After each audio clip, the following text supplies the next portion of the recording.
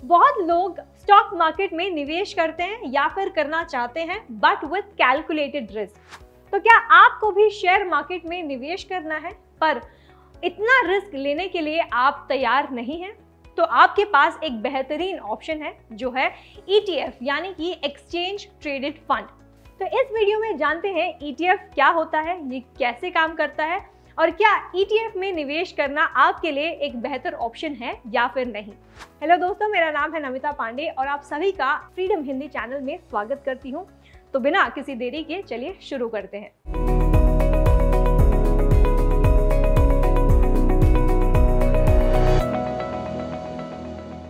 तो ETF क्या होते हैं? इसको समझने से पहले हमको ये समझना होगा कि म्यूचुअल फंड्स क्या होते हैं और इंडेक्स क्या होते हैं, ताकि आपको ETF समझने में कोई दिक्कत ना आए और आप ETF को अच्छे से समझ सको। तो म्यूचुअल फंड्स क्या होता है?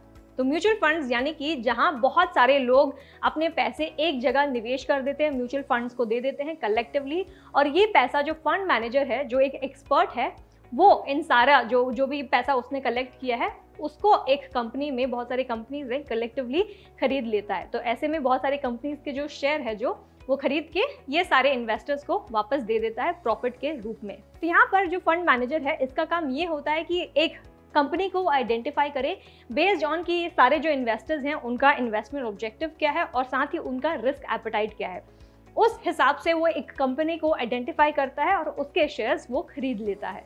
वहीं दूसरी ओर अगर हम इंडेक्स की बात करें तो ये भी बहुत सिमिलर है, जहाँ ग्रुप ऑफ़ इन्वेस्टर्स जो होते हैं ग्रुप ऑफ़ पीपल एक म्यूचुअल फंड में इन्वेस्ट कर देते हैं। पर यहाँ डिफरेंस ये है कि यहाँ कोई एक्सपर्ट नहीं होता और आपके पैसे यहाँ पे डायरेक्टली इंडेक्स में इन्वेस्ट हो जाते हैं। तो इंडेक्स क्या होता है? इंडेक्स बेसिकली वो होता है, जब भी आप इंडेक्स फंड्स में इन्वेस्ट करते हैं इंडेक्स में इन्वेस्ट करते हैं तो यहाँ पर वो सेंसेक्स जैसे कंपनीज़ में और साथ ही निफ्टी में या फिर निफ्टी फिफ्टी में ऐसे कंपनीज़ में वो इन्वेस्ट कर देता है। तो यहाँ पे अगर आप सोच रहे हैं कि ये सेंसेक्स क्या होता है तो यहाँ पे मैं आपको बता दूँ, जो भारत के टॉप थर्टी सबसे बड़े कंपनीज़ होते हैं, उनका शेयर्स हमें खरीदने को मिलता है। तो ये होता है सेंसेक्स इन्वेस्टिंग वहीं अगर हम निफ्टी की बात करें तो ये भारत के टॉप 50 सबसे बड़ी कंपनीज़ में एक का, एक, इसका एक ग्रुप होता है तो यहाँ पे इनका जो शेयर्स है, हमें खरीदने का मौका मिलता है।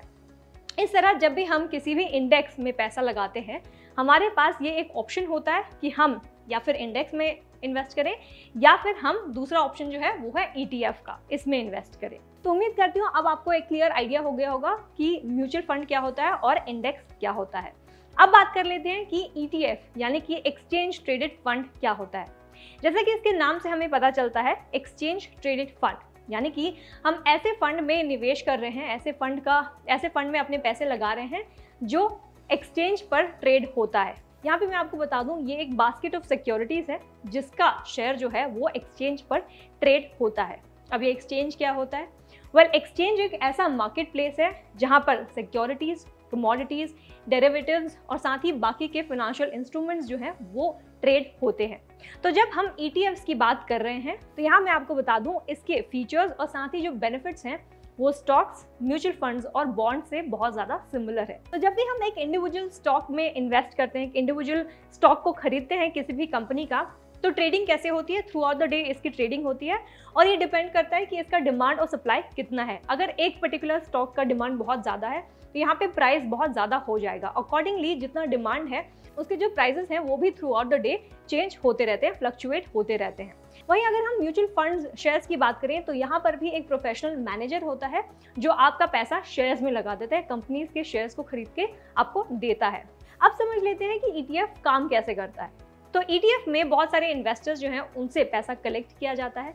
जैसे कि किसी भी म्यूचुअल फंड में पैसा कलेक्ट किया जाता है और फिर ये किसी भी इंडेक्स को फॉलो करता है तो उस इंडेक्स को फॉलो करते हुए वो उसमें पैसा लगा देता है।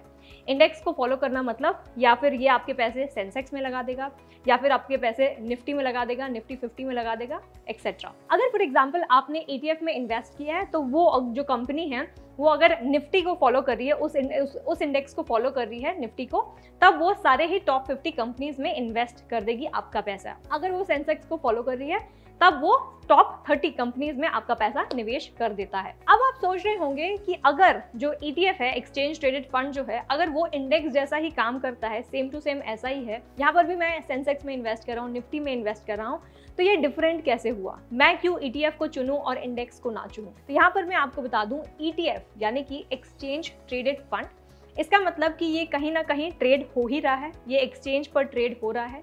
यानी कि ये एन और बीएससी जो हमारे स्टॉक एक्सचेंज है, वहाँ पर ट्रेड हो रहा है ईटीएफ सारे ट्रेड हो रहे हैं। यानी कि ये स्टॉक जैसे ही परफॉर्म करता है स्टॉक जैसे ही ऊपर नीचे इसके प्राइजेस होते रहते हैं। इसके लिए आपको चाहिए होगा डीमैट अकाउंट जी हाँ। वहीं दूसरी ओर अगर हम बात करें म्यूचुअल फंड की और इंडेक्स की, यहाँ पर आपको किसी तरह की डीमैट अकाउंट की यहाँ पे ज़रूरत नहीं है। अगर आप म्यूचुअल फंड और इंडेक्स में निवेश कर रहे हैं तो। ये बहुत ही बड़ा डिफरेंस है when we talk about ETF and mutual fund और इवन इंडेक्स अब वापस समझ लेते हैं कि ईटीएफ e कैसे डिफरेंट है when it comes to mutual fund और इवन इंडेक्स एकदम माइन्यूट डिटेल्स में हम इधर फोकस करेंगे। तो जब भी कोई म्यूचुअल फंड या फिर इंडेक्स फंड है, यहाँ पर जो इन्वेस्टर्स हैं इन्वेस्ट करते हैं तो जैसे जैसे इसकी रिक्वायरमेंट है जैसे जैसे अगर से फॉर एग्ज़ाम्पल नए इन्वेस्टर्स को यहाँ पर जुड़ना है तो बहुत सारे नए इन्वेस्टर्स यहाँ पर जुड़ सकते हैं। ऐसे करके जो फंड हाउस जो है, यहाँ पे इसका जो की एसेट अंडर मैनेजमेंट जो है, वो इंक्रीज होता जाता है। While on the other hand अगर हम ई e की बात करें, ये बहुत ही अलग तरीके से काम करता है और ये काम करता है जैसे कि किसी कंपनी का स्टॉक काम करता है। इसका मतलब ये है लेट्स से फॉर एग्जांपल अगर कोई भी कंपनी जिसको पैसा रेज करना होता है, वो आईपीओ इशू करती है। उसी तरह जब भी कोई फंड मैनेजर को पैसे रेज करने होते हैं not fund manager fund house को अगर पैसे रेज करने होते हैं तो वो एनएफओ लॉन्च करता है, यानी न्यू फंड ऑफ़र को इशू करता है मार्केट में। और इस, ये आता है एक मेच्योरिटी पीरियड के बाद। यानी कि जब भी आप ई e में इन्वेस्ट करते हैं तो यहाँ पर एक लिमिटेड स्पेसिफिक टाइम ड्यूरेशन होता है। जहाँ पे इन्वेस्टर्स इन्वेस्ट कर सकते हैं और उसके बाद कोई भी इन्वेस्टर नया इन्वेस्टर इसमें जुड़ नहीं सकता। तो यहाँ पे मेजर डिफरेंस ये भी है कि यहाँ की एसेट अंडर मैनेजमेंट जो है, का ई e में इंक्रीज नहीं होता। अब बड़ा सवाल ये आता है कि अब जब भी हम ई e में इन्वेस्ट करते हैं तो इन रिटर्न इन्वेस्टर्स को क्या मिलता है? यहाँ जब जब भी हम म्यूचुअल फंड में इन्वेस्ट करते हैं तो इन्वेस्टर्स को यूनिट्स अलॉट होते हैं। उसी तरह मैं आपको बता दूँ, जब भी कोई ईटीएफ में इन्वेस्ट करता है तो उसे एक कंपनी का शेयर मिल जाता है, जो इक्वली सारे ही इन्वेस्टर्स में डिवाइड होकर मिलता है। तो जैसे कि शेयर्स ट्रेड किए जाते हैं, वैसे ही ईटीएफ को ट्रेड किया जाता है, और उस हिसाब से आपको वो प्रॉफिट मिल जाता है। आगे बढ़ते हुए अब बात कर लेते हैं कि बहुत से ऐसे कौन कौन से ऐसे टाइप्स ऑफ़ ई है जो अवेलेबल है इन इंडिया तो अगर हम इंडिया की बात करें तो यहाँ पर ब्रॉडली तीन तरह के ई होते हैं। पहला है इक्विटी ई दूसरा है डेट ईटीएफ और तीसरा है कमोडिटी ईटीएफ तो ये तीन ब्रॉडली मेन पॉपुलर हैं, बहुत ज़्यादा पॉपुलर ईटीएफ्स हैं, जो आप इंडिया में ट्रेड कर सकते हैं जहाँ पर भी। वहीं यूएस में बहुत ज़्यादा ऐसे ईटीएफ्स हैं जहाँ पे आप ट्रेड कर सकते हैं। तो वन बाय वन हम जान लेते हैं ये होता क्या है। अगर हम इक्विटी ईटीएफ की बात करें तो जैसे कि इसके नाम से हमें पता चलता है इक्विटी यानी कि ऐसा कोई इन्वेस्टमेंट जो कंपनीज़ के शेयर्स को खरीदने में हमें मदद करता है। जब भी आप इक्विटी ईटीएफ में इन्वेस्ट करते हैं, यानी कि आप ऐसे जगह इन्वेस्ट कर रहे हैं जो आपको कंपनीज़ के शेयर्स आपको लाके देंगे और जैसे जैसे एक कंपनी बढ़ती है प्रॉफिट उस हिसाब से आपको मिलता है। तो यहाँ पर भी जब भी आप इक्विटी ईटीएफ पे इन्वेस्ट करते हैं तो ये एक पर्टिकुलर इंडेक्स में इंडेक्स को फॉलो करता है। तो 90% percent of the ETF they will follow only index तो वो नब्बे प्रतिशत ऐसे जो ईटीएफ में अगर आप निवेश करते हैं, वो इंडेक्स किसी न किसी इंडेक्स को ही फॉलो करते हैं। तो चाहे वो सेंसेक्स इंडेक्स हो गया, चाहे वो निफ्टी हो गया, निफ्टी फिफ्टी हो गया, निफ्टी नेक्स्ट फिफ्टी हो गया, बहुत सारे ऐसे इंडेक्स हैं जो इसको वो फॉलो करता है। यहाँ पे बेसिकली काम ऐसा होता है कि जब भी आप किसी इंडेक्स को फॉलो कर रहे हो तो जो बेंच मार्क ऑलरेडी सेट है, उसी को रेप्लीकेट करके आपको वो प्रॉफिट मिलता है। यहाँ पे कोई ऐसा स्ट्रैटेजी नहीं होता कि वो आपको बेंच मार्क से ज़्यादा रिटर्न लाकर दे। तो बेसिकली कोई भी इंडेक्स को जब भी आप फॉलो कर रहे हैं तो वो उतना ही रिटर्न आपको लाकर देगा। साथ ही मैं आपको ये बता दूँ कि इक्विटी के अंदर इक्विटी एक्सचेंज ट्रेडेड फंड के अंदर ऐसे दो प्रकार के होते हैं। एक ये कि जो कंपनी जहाँ पे आपने निवेश किया है वो कंपनी आपका पैसा ऐसे इंडेक्स फंड्स में डाल देगी। या फिर दूसरा ऑप्शन उसके पास ये है कि वो किसी सेक्टोरल फंड्स को सेक्टोरल ईटीएफ जो है, उसे फॉलो करे। सेक्टोरल ईटीएफ क्या है? सेक्टोरल ईटीएफ बेसिकली ऐसे ग्रुप ऑफ़ कंपनीज़ हैं जिसमें, जिसका बॉन्ड्स जो आप है, खरीदते हो। तो ये हो सकता है आईटी ईटीएफ e ये हो सकता है बैंकिंग का, ये हो सकता है टेक्नोलॉजी का। तो it is based on the theme या फिर it is based on the sector मतलब यहाँ पे ग्रुप ऑफ़ जो कंपनीज़ हैं, वो एक सेक्टर में बिलोंग करते हैं। इंफ्रास्ट्रक्चर एक सेक्टर हो गया रियल एस्टेट एक सेक्टर हो गया। तो ऐसे करके बहुत सारे ग्रुप ऑफ़ कंपनीज़ हैं जो एक सेक्टर में आ जाते हैं और इसका आप ईटीएफ e खरीदते हैं एक्सचेंज ट्रेडेड फंड इनका जो बॉन्ड्स है या फिर स्टॉक्स है, यहाँ पे आप खरीदते हैं। दूसरा टाइप है डेट ईटीएफ e ये क्या होते हैं? ये बेसिकली ये होते हैं कि जब भी किसी बॉन्ड्स के अंदर ईटीएफ e लॉन्च किया जाता है तो इसे हम डेट ईटीएफ बोलते हैं।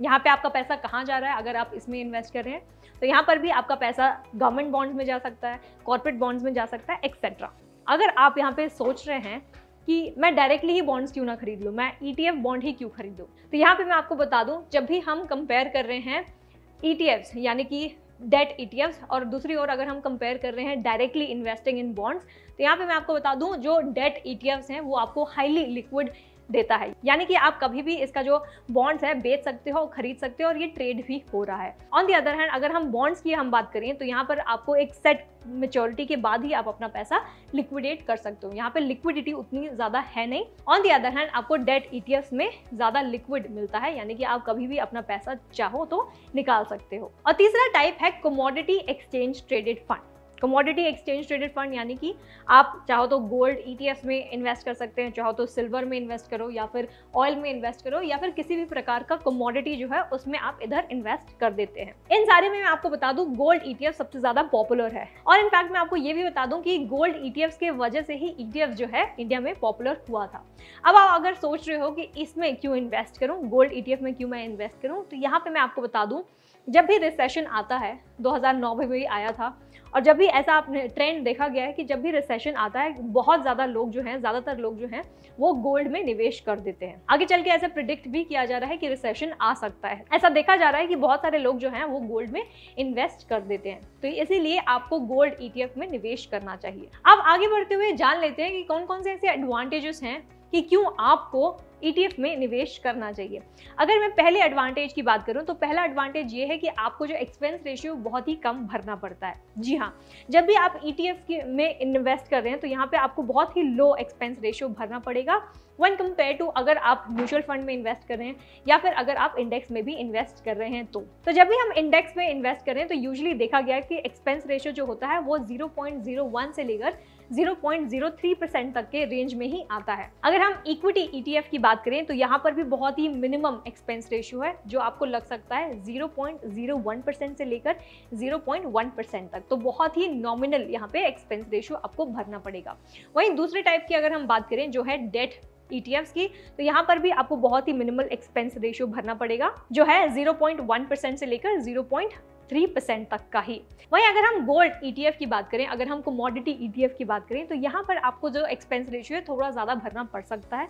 और यूजुअली जो एक्सपेंस रेशियो यहाँ पर आपको भरना पड़ेगा, वो होगा 0.5 परसेंट से लेकर 1 परसेंट तक। तो यहाँ पे थोड़ा ज़्यादा आपको एक्सपेंस रेशो भरना पड़ेगा। पर फिर भी मैं आपको बता दूँ कि जब भी आप किसी भी ई e में इन्वेस्ट करते हैं तो आपको जो म्यूचुअल फंड में, जितना आप म्यूचुअल फंड में एक्सपेंस रेशो भरते हैं, जो फ़ीस भरते हैं, वो बहुत ज़्यादा होता है वन कंपेयर टू ई तो पहला एडवांटेज आपको ये मिलता है कि यहाँ पे एक्सपेंस रेशियो बहुत कम है, बहुत ही नॉमिनल है अफोर्डेबल है, आप पे कर सकते हैं। वहीं दूसरा बेनिफिट आपको ये मिलता है कि इट इज़ हाईली लिक्विड इसका मतलब ये है कि क्योंकि ये जो ई e हैं, वो लगातार पूरे दिन जो है स्टॉक्स को खरीद रहे हैं और बेच रहे हैं तो ये हाईली लिक्विड भी है। अगर आप देख रहे हैं कि कोई ई e का जो प्राइस है वो ऊपर हो गया है और आगे चलकर आप ये प्रिडिक्ट करते हैं कि मे बी मार्केट लो हो जाएगा तो ऐसे में आपको लिक्विडिटी भी ज़्यादा मिलती है। यानी कि जो भी स्टॉक का प्राइस आप देख रहे हो ऊपर हो गया तो आप इमीडिएटली उसे बेचकर अपना जो प्रॉफिट है वो रिडीम कर सकते हैं। तो when compare to mutual funds ETFs आपको ज़्यादा लिक्विडिटी प्रदान करती है। अपना प्रॉफिट आप जल्दी से रिडीम कर सकते हैं। साथ ही आपको लिक्विडिटी या फिर फ्लेक्सिबिलिटी ऐसे रूप में भी मिलती है कि अगर आप देख रहे हैं कोई भी सिक्योरिटी जो है, वो अच्छा परफॉर्म नहीं कर रही है, उससे अच्छे प्रॉफिट्स नहीं मिल रहे हैं तो आप क्विकली किसी और सिक्योरिटी में शिफ्ट हो जाते हैं। तो ये भी एक तरह का फ्लेक्सिबिलिटी जो है आपको मिलता है, जो आपको म्यूचुअल फंड में नहीं मिलता। तीसरा बेनिफिट आपको ये मिलता है कि जब भी आप ई e में इन्वेस्ट करते हैं तो यहाँ पर आपको ये मौका मिलता है कि आप एक ही साथ बहुत सारे कंपनीज़ में इन्वेस्ट कर सकते हैं। आपको एक तरह का डाइवर्सिफाइड डाइवर्सिफिकेशन भी मिलता है। क्योंकि एक साथ ही आप बहुत सारी कंपनीज़ के शेयर होल्डर बन जाते हैं। चौथा बेनिफिट आपको ये मिलता है कि ये पैसिवली इन जो भी इन्वेस्टमेंट आपने किया है, वो पैसिवली मैनेज होता है। इसका मतलब ये है कि जब भी आप ईटीएफ e में इन्वेस्ट करते हैं तो ये बहुत कम रिस्की है when compare to investing in से म्यूचुअल फंड्स तो क्योंकि ये पैसिवली मैनेज होता है, इसका मतलब ये कि क्योंकि जब भी आप इसमें पैसे लगाते हैं तो ये टॉप कंपनीज़ में ही पैसे लगाते हैं, जहाँ पे आपको ज़्यादातर प्रॉफिट्स मिल सकता है। When compare to mutual fund ये बहुत ही ज़्यादा अच्छा ऑप्शन हो सकता है आपके लिए। जहाँ हम म्यूचुअल फंड में देख रहे हैं कि आप स्मॉल कैप कंपनीज़ में भी इन्वेस्ट कर सकते हैं छोटे छोटे स्टार्टअप्स में इन्वेस्ट कर सकते हैं, उसका शेयर आप खरीद सकते हैं या फिर मिड कैप कंपनीज़ में इन्वेस्ट कर सकते हैं। या फिर लार्ज कैप कंपनीज़ में ऑल्डो आपके पास वो ऑप्शन है ई e में जब आप इन्वेस्ट करते हैं तो यहाँ पर आपको ये अश्योरिटी मिलती है कि आप बेस्ट परफॉर्मिंग कंपनीज़ का ही शेयर खरीद रहे हैं और आपको प्रॉफिट मिलेगा। और नेक्स्ट बेनिफिट ये है कि यहाँ पे कोई मिनिमम इन्वेस्टमेंट नहीं है। आप जितना चाहे, उतना आप इन्वेस्ट कर सकते हैं। आगे बढ़ते हुए जान लेते हैं कि यहाँ पे टैक्स इम्प्लीमेंटेशन कैसे होता है। तो यहाँ पे मैं आपको बता दूँ, ये करीब करीब म्यूचुअल फंड जैसा ही काम करता है। जहाँ पे अगर हम इक्विटी म्यूचुअल फंड में इन्वेस्ट करते हैं तो यहाँ पर आपको कैपिटल गेन्स का पर टैक्स भरना पड़ता है। तो सिमिलरली जब भी आप ई e में कैपिटल गेन, जो भी तरह का कैपिटल गेन अगर आपको होता है तो उस पर आपको टैक्स भरना पड़ता है। पर यहाँ पर आपको ये देखना होता है कि क्या आप शॉर्ट टर्म गेन कर रहे हैं या फिर आपको लॉन्ग टर्म गेन मिल रहा है। अगर आपको शॉर्ट टर्म गेन मिल रहा है, यानी कि अगर आप एक साल से अंदर कोई भी यूनिट अगर बेचते बॉन्ड्स बेचकर स्टॉक्स बेचकर या शेयर्स बेचकर पैसे कमा रहे हैं, और अगर वो एक लाख से ज़्यादा है, तब आपको शॉर्ट टर्म गेंस भरना पड़ेगा शॉर्ट टर्म कैपिटल गेंस भरना पड़ेगा, जो होगा 15 परसेंट का। अगर आप एक साल के बाद किसी बॉन्ड्स को या शेयर्स को बेचकर प्रॉफिट लेते हैं और वो प्रॉफिट एक लाख से ज़्यादा है, तब आपको लॉन्ग टर्म कैपिटल गेन भरना पड़ेगा, जो होगा टेन परसेंट का। वही अगर हम डेट ईटीएफ और कमोडिटी ईटीएफ की बात करें तो यहाँ पर भी आपको शॉर्ट टर्म कैपिटल गेन और लॉन्ग टर्म कैपिटल गेन भरना पड़ेगा और दोनों ही सिमिलर है। इसका मतलब ये कि अगर डेट में अगर आप इन्वेस्ट कर रहे हो या फिर अगर आप कमोडिटी में इन्वेस्ट कर रहे हैं, यानी कि तीन साल से पहले अगर आप कुछ बेचकर प्रॉफिट लेते हैं तो आप एज पर योर टैक्स लैब आपको टैक्स भरना पड़ेगा। तीन साल के बाद अगर कुछ रिडीम करते हैं अपना प्रॉफिट तो आपको ट्वेंटी का टैक्स लैब भरना पड़ेगा। तो इस पूरे वीडियो से उम्मीद करती हूँ कि आपको समझ आ गया होगा कि ईटीएफ e क्या होता है और ये कैसे काम करता है और ये कैसे म्यूचुअल फंड से शायद आपके लिए एक बेहतर ऑप्शन हो सकता है, क्योंकि यहाँ पर आपको ये एक्सपोजर मिलता है कि आप कैसे स्टॉक मार्केट में इन्वेस्ट कर सकते हैं। ये मैं आपको रेकमेंड करूँगी कि आप ई e में तभी इन्वेस्ट करें जब आप एक बिगनर हैं और आपको स्टॉक मार्केट में इन्वेस्ट करना है, पर आपको उतना आइडिया नहीं है और उतना रिस्क आपको नहीं लेना। पर आपको एक एक्सपीरियंस चाहिए, तब आप ई e में इन्वेस्ट करें। पर मैं आपको ये भी बताऊँगी कि जब भी आप इन्वेस्टमेंट कर रहे हैं, कहीं भी आप इन्वेस्ट कर रहे हैं, उससे पहले आप पूरी जो ज्ञान है वो प्राप्त कर लें, पूरा ज्ञान प्राप्त कर लें और तभी कोई इन्वेस्टमेंट डिसीज़न आप लें। अगर आपको इन डिटेल जानना है कि स्टॉक में कैसे निवेश किया जाता है म्यूचुअल फंड में कैसे निवेश किया जाता है, या फिर कोई भी इन्वेस्टमेंट इंस्ट्रूमेंट को आप एक्सप्लोर करना चाहते हैं तो उसके लिए आप डाउनलोड कर सकते हैं फ्रीडम ऐप प्ले स्टोर या ऐप स्टोर से। आप ये ऐप डाउनलोड करें और पूरा पूरा नॉलेज प्राप्त करें और तभी अपना इन्वेस्टमेंट जर्नी आप शुरू करें। तो अगर ये वीडियो आपको अच्छा लगा है तो इसे लाइक और शेयर करना ना भूलें। कमेंट कर हमें ये बताएँ कि ये वीडियो आपको कैसा लगा। इस चैनल को भी ज़रूर सब्सक्राइब करें और बेल आइकन को दबाना ना भूलें। Thank you for watching Freedom get wire and break free